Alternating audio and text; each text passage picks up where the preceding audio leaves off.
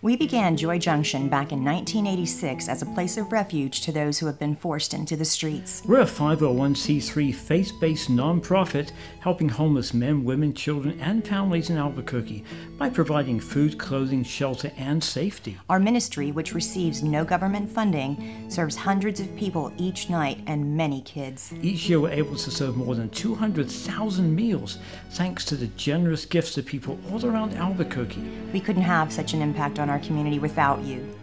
Only financial constraints prevent us from doing more. We provide the homeless with the help they need to get back on their feet and regain control of their lives. In addition to providing assistance for needy families, we also help homeless single men and women. Regardless of gender, family makeup, race, color, national origin, age, or religion, all are welcome at Joy Junction. We rely entirely on the charitable gifts of generous community members, businesses, churches, and corporations in Albuquerque. You can learn more by continuing to browse our site.